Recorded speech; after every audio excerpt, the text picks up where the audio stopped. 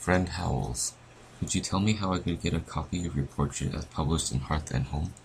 I hear so much about it as being among the finest works of art which have yet appeared in the journal, that I feel a strong desire to see it.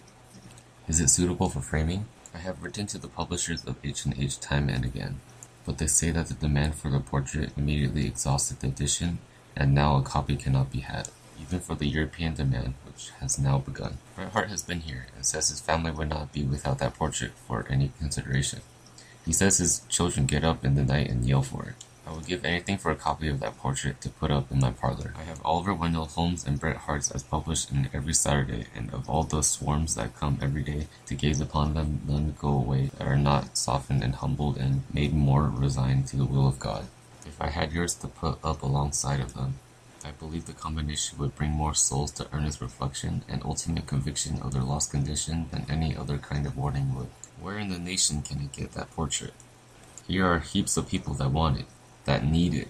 There is my uncle, he wants a copy. He is lying at the point of death. He has been lying at the point of death for two years. He wants a copy, and I want him to have a copy.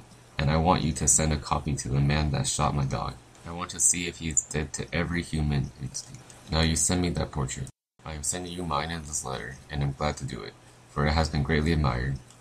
People who are judges of art find it in the execution a grandeur which has not been equalled in this country and an expression which has not been approached in any. Yours truly, Samuel Langhorne Clemens.